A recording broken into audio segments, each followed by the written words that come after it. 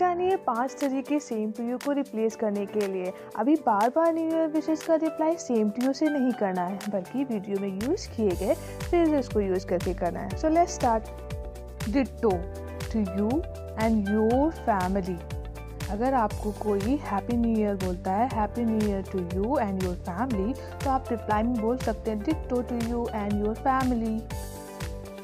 you too example you too have a blissful new year आपका भी साल आनंदमय हो, खुशियों से भरा हो।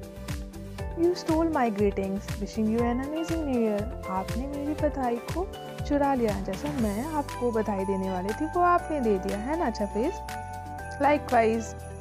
likewise you have wonderful new year